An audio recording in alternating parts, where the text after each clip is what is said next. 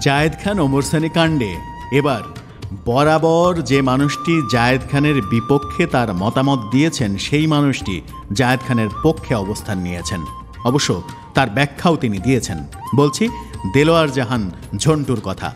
আলোচিত এই পরিচালক রেগে মেগে একেবারে ওমর সানির বিপক্ষে যাচ্ছে তাই রকমের মন্তব্য করে বসেছেন।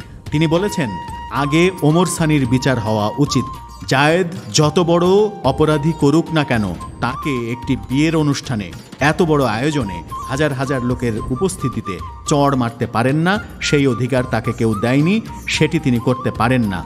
তার আগে শাস্তি হওয়া উচিত, যদি তিনি চড় মেরে থাকেন সত্যি সত্যি।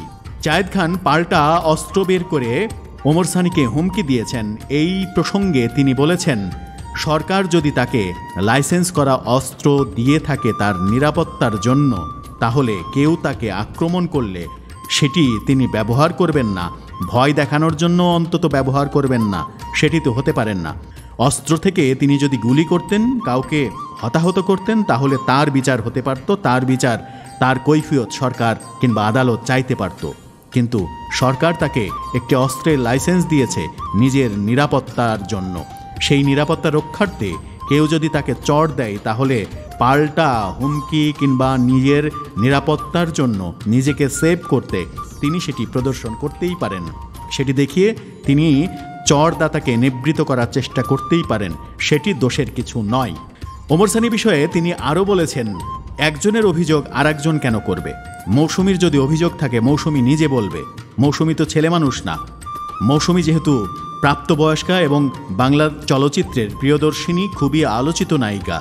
তার নিজের কথার একটি দাম আছে। তার নিজের সিদ্ধান্ত, নিজের মতামত নিজেকে দিতে হবে। স্বামী হলেও একজন প্রতিষ্ঠিত স্ত্রীর মতামত সে দিতে পারে না। স্ত্রীকেই দিতে হবে। আর যতক্ষণ পর্যন্ত মৌসুমি অভিযোগ না করছেন, ততক্ষণ পর্যন্ত জায়েদ খানের বিরুদ্ধে করা ওমর সানির কোনো অভিযোগ আমলে নেয়ার কোনো কারণ নেই। হঠাৎ করে ওমর সানির বিপক্ষে আপনি গেলেন কেন? জায়েদ খানের পক্ষে কেন? এতদিন জায়েদ খানের সমালোচনা করে এসেছেন। আজকে কেন জায়েদ খানের পক্ষে অবস্থান নিচ্ছেন? তিনি বলেছেন, জায়েদ খান আমার আপন কেউ নয়, বরং ওমর সানি আমার অনেক আপন, অনেক কাছের। সে আমার অনেক সিনেমায় অভিনয় করেছে, অনেক সুপারহিট সিনেমাতে অভিনয় করেছে। কিন্তু সত্য যেটা, সেটা আমি সব সময় বলি, এক্ষেত্রেও বলব। এক্ষেত্রে দোষটা ওমর সানির। সে যত অপরাধী ঘটুক না কেন, তার জন্য শিল্পী সমিতি আছে। অভিভাবক শিল্পী সমিতি, একজন শিল্পীর। তার কাছে আনুষ্ঠানিক যে অভিযোগ চড় মারার পরে করেছে, তার আগেই সে করতে পারত। সেটা না করে সে নিজেই আইন হাতে তুলে নিয়েছে, কাউকে চড় মেরে বসেছে। এটা কোনো শিল্পীর কাজ না। তাকেই আগে বেঁধে সায়স্তা করা উচিত বলে রেগে দেলোয়ার জাহান ঝন্টু তার মতামত প্রকাশ করেছেন।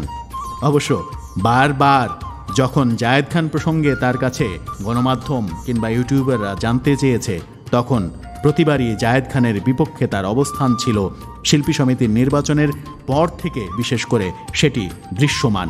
শিল্পী সমিতির নির্বাচনের দিন পরিচালকরা এফডিসিতে প্রবেশ করতে পারেননি। সেই যে দাঁড়িয়েছিলেন পরিচালকরা, পুলিশ তাদেরকে ব্যারিকেড দিয়েছিল। সেই সময় যে আন্দোলন দানা বেঁধে উঠেছিল সোহানুর রহমান সোহানের নেতৃত্বে, সেই আন্দোলনের সামনের সারির দুই তিনজনের একজন, তিনি নিজেই দেলোয়ার জাহান ঝন্টু। সেই জায়েদ খানের পক্ষে যখন তিনি কথা বলছেন, নিশ্চয়ই ওমর সানির কোনো দোষ তার চোখে পড়েছে। তবে সময়ই বলে দেবে, জায়েদ খানের বিপক্ষে করা ওমর সানির অভিযোগ সত্য নাকি নিজেকে ভাইরাল করার জন্য, নিজেকে হিরো করার জন্য অসময়ে যখন তার হাতে ছবির কাজ নেই, তখন নিজেকে আলোচিত করার জন্য যে মতটি নায়িকা রোজিনা দিয়েছেন, সেই জন্য ওমর সানি এই কাণ্ড করেছেন, সেটি প্রমাণের পরেই বোঝা যাবে।